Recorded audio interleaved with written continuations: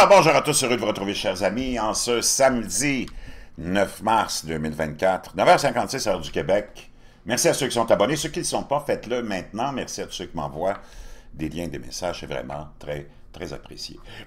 Je vous fais un petit clin d'œil, une petite nouvelle importante qui représente un peu ce qui se passe autant au Canada qu'en Occident en général. Mais là, c'est plus spécifiquement aux États-Unis. La corruption des politiciens.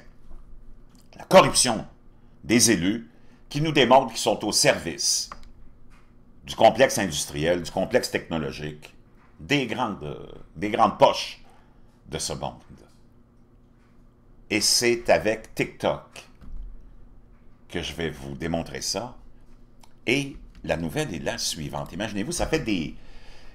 L'apparition de TikTok, naturellement, a euh, changé euh, les plateformes numériques en Amérique elle a enlevé l'espèce de euh, suprématie hein, de Facebook, Meta, euh, YouTube et Instagram et plein d'autres, il y en a tellement.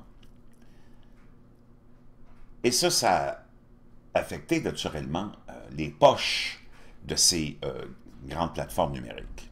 Et on a commencé à démoniser, à essayer de faire peur aux utilisateurs de TikTok, comme quoi c'était d'origine chinoise et qu'on probablement on est en train de, de, vous voler vos données personnelles. Facebook fait ça à longueur de journée depuis sa création en 2004 par les agences de renseignement américaines. Je vous en ai déjà parlé. TikTok, euh, Facebook, il y avait un programme qui était mis, ça s'appelait The Life, The Life Log, OK? The LifeLog, ça a été mis sur pied par DARPA. OK? Ça s'appelait, en, en, français, on pourrait le, traduire par euh, le journal de vie. LifeLog était un projet du Bureau des techniques de traitement de l'information de la Defense Advanced Research Projects Agency, la DARPA. Ça, c'est les gros boss du Deep State, OK? Américain.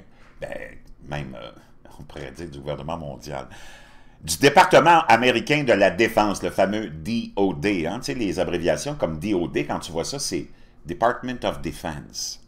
Selon sa brochure d'appel d'offres de 2003, il devait s'agir d'un sous-système basé sur une ontologie qui capture, stocke et rend accessible le flux de l'expérience et des interactions d'une personne dans le monde ou dans son monde afin de prendre en charge un éventail ou un large éventail de besoins associés, assistants et autres capacités du système. L'objectif du concept LifeLog était de pouvoir retracer les, fils de la vie d'un individu en termes d'événements, d'états et de relations.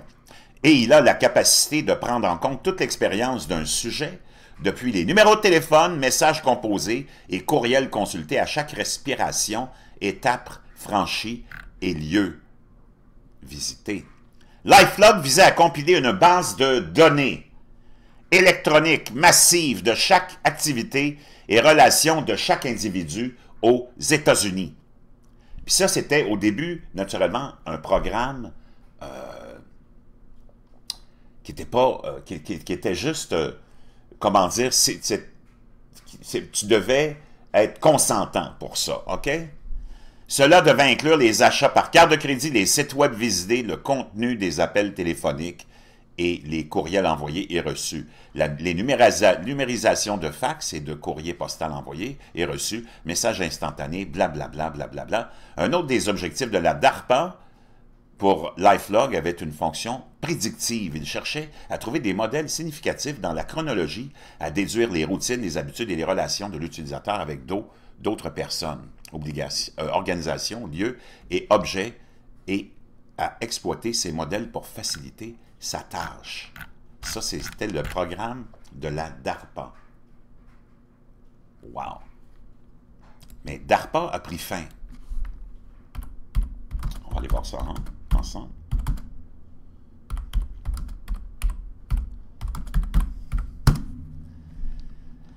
Pentagone, qui était impliqué là-dedans, avec la DARPA, sous les pressions de plusieurs élus politiciens, ben plusieurs, il n'y en a pas tant que ça, mais qui étaient plus de, tendance libertarienne ont trouvé ça inacceptable que le gouvernement puisse avoir toutes les données et toutes les activités d'un individu dans sa vie et de compiler ça pour avoir des banques de données, et on voulait ça sur tous les Américains. Donc, le Pentagone, écoute bien ça, parce que ça, c'est très important, ce que je vais te dire et te partager. Le Pentagone a annulé son projet de, dit, euh, ou qu'on appelait LifeLog, un effort ambitieux visant à créer une base de données retraçant toute l'existence d'une personne. Gérée par la DARPA, la branche de la recherche du ministère de la Défense, LifeLog visait à rassembler en un seul endroit à peu près tout ce qu'un individu dit, voit ou fait. Les appels téléphoniques passés, les émissions de télévision regardées, les magazines lus, etc., etc. Le Pentagone a annulé son projet dit LifeLog, un effort ambitieux visant à créer une base de données retraçant toute l'existence d'une personne. Et ça, c'était juste pour les gens qui étaient consentants, au début, ce projet-là. Pilote. Mais après ça, tu peux imaginer comment tout ça se serait déroulé. Ça, c'était le 4 février.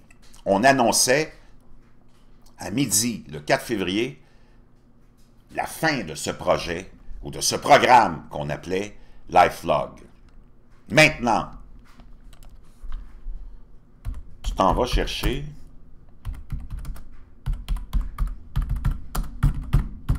c'est pas des. C'est tellement, tellement incroyablement évident. Écoute ça. C'est quand même spectaculaire. Le projet du Pentagone annulé. Puis il n'y a personne qui en a parlé vraiment là, de ça. C'était comme peut-être des petits filets dans les journaux. Le 4 février 2004, on annonce la fin de LifeLog. Qu'est-ce qu'on a lancé le 4 février 2004? Facebook est un service de réseaux sociaux lancé initialement sous le nom de de Facebook le 4 février 2004. Avant de changer son nom pour simplement Facebook en 2005, le jour où le Pentagone, la DARPA, le DOD, le département de la Défense qui voulait ficher tout le monde, le jour où on met fin à ça, on lance Facebook.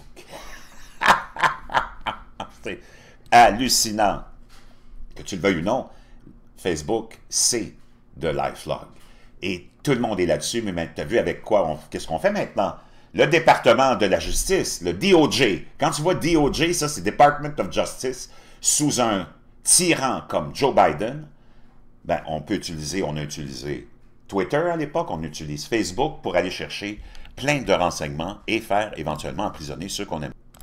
Donc imagine-toi, ça fait des années qu'on essaie chez certains représentants élus des États-Unis, de la Chambre et euh, du Sénat, sous les pressions et le lobbying des grandes plateformes américaines, de bannir TikTok, en prétendant que on va être espionné, c'est les Chinois qui nous volent nos données personnelles. Alors que c'est leur pratique courante, c'était comme ça qu'ils font, eux et qui font beaucoup d'argent, ils vendent, nos données à des entreprises qui nous envoient après ça des tonnes de publicité.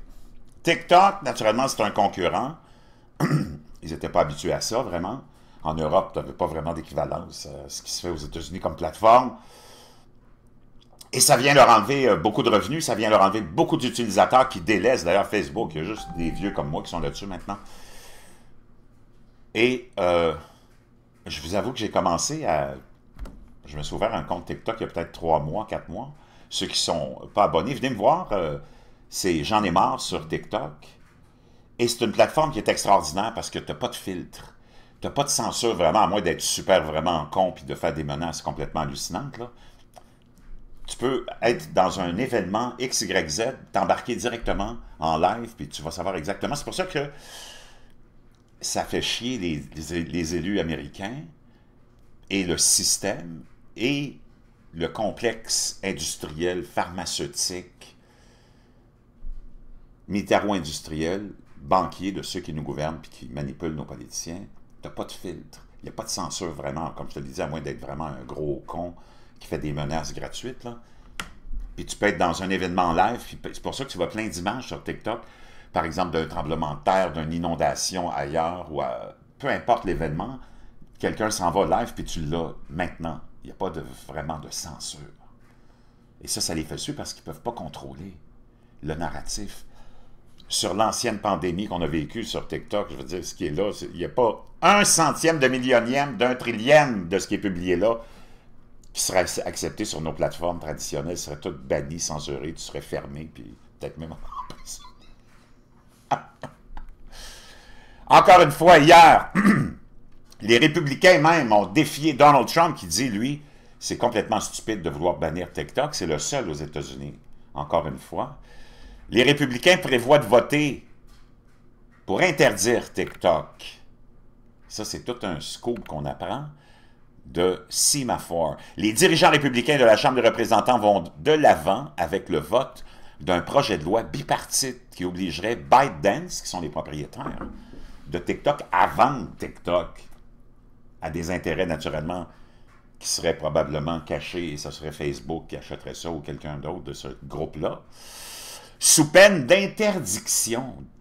Puis là, tu veux parler de démocratie, puis ces gens-là nous font des leçons sur la démocratie.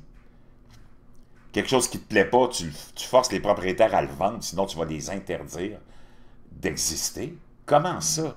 C'est complètement, complètement de la folie furieuse. Et pourquoi, comme je te l'ai dit, c'est parce que tu peux émettre vraiment ton opinion. C'est hallucinant. Mercredi prochain, donc, mercredi prochain, c'est le vote à la Chambre malgré l'opposition publique de l'ancien président Donald Trump à cette mesure. Les dirigeants républicains de la Chambre se sont réunis vendredi matin pour confirmer que la Chambre avancerait sur le projet de loi TikTok, avec l'intention de le présenter à la Chambre sous, euh, suspension. Une manœuvre qui accélère le processus et limite les amendements au projet de loi qui peuvent obtenir une majorité des deux tiers des voix selon deux sources proches des plans machiavélique. La législation des représentants Mike Gallagher, rappelez-vous de ce nom-là, qui est un républicain, et de Raja Krishna Morty. Prennent deux inconnus, naturellement, pour faire avancer ça, un démocrate de l'Illinois. Les dirigeants du comité spécial de la Chambre sur la Chine forceraient ByteDance, basé à Pékin, à vendre TikTok dans les 180 jours, ou autrement interdirait effectivement l'application aux États-Unis en pénalisant les magasins, comme les, magasins comme Apple Store, qui euh, héberge l'application. Si si vous vous débarrassez de TikTok, Facebook et Zuckermuck doubleront leur chiffre d'affaires, a écrit Trump sur Truth Social, faisant référence à Mark Zuckerberg. Zucker, Zuckermuck. Je ne vais pas, je ne veux pas que Facebook, qui a triché lors des dernières élections, fasse mieux. Ils sont de véritables ennemis du peuple. Donc, incroyable, mais c'est ça, chers amis. C'est complètement, complètement hallucinant. Je ne sais pas si je vais être capable de retrouver l'article. Oui, je le laisserai dans la boîte de description. Retenez tout ce que je viens de vous partager, OK? C'est vraiment important. Je vais vous mettre les liens de LifeLog, la création de Facebook, la date. Partagez ça. Ça vaut la peine que le monde soit au courant de ce qui se trame toujours dans les coulisses du pouvoir.